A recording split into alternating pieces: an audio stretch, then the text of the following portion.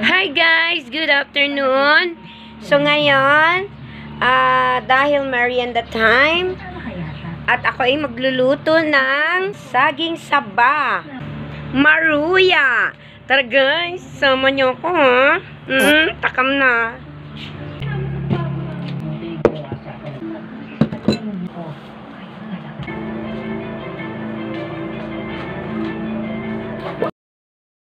Ayan guys, magbabalat po ako nito saging. At kailangan sa isa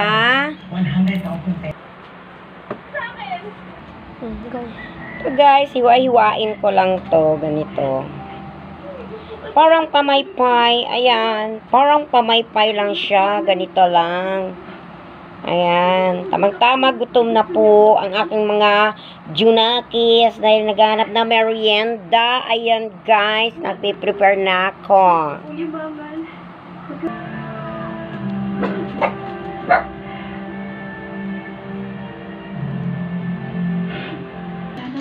Okay guys, ito, kaya ito magkaiba. Ito, para siyang ano, ganito, maruya ang gagawin ko.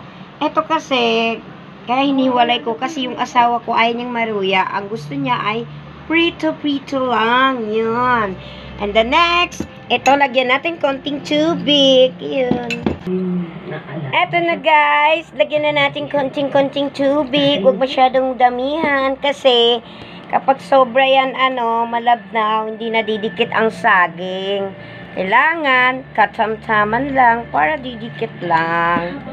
Ayan, pag nagsobrahan kayo, kung may tira pa kayo, ah, harina, pwede nyo na lang jagjagan. Oh, maganito lang guys. Ayan. Oh, konti lang. Konti dagdag pa. Ayan. Di tama na. Tapos, lagyan natin vanilla. Para, konting mabango naman. Ayan. Ganito lang, konting shake, shake, shake. Shake, shake, shake, shake. Tapos shake, ibuhos. Ito, ibuhos. Ganon, guys. Ito ang tinatawag na maruya. Ayan. Maruya tayo dyan. Gustong gusto nyo yan, di ba? Favorite ng mga Pinoy. Maruya. Oh, let's go na. Prito. Okay na konti lang hinaang apoy natin at ibuhos to. Mantika natin. Ayan. O, di ba? Pagkatapos yan, tsaka na natin inagay. Ibuhos din ang saging isa-isa. O, dalawa, tatlo, apat. Bala kayo kung ilang kasyang gusto niya. Ayan. O, di ba? O.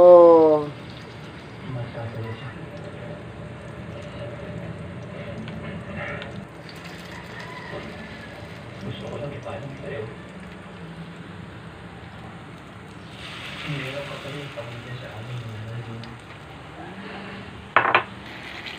Ayan guys, malapit-lapit na. Nag-brown-brown na siya. Tapos guys, isa-isahin natin sausaw dito sa asukal. Kasi ito naman talaga ang partner, di ba? Ganito lang. Sausaw-sausaw.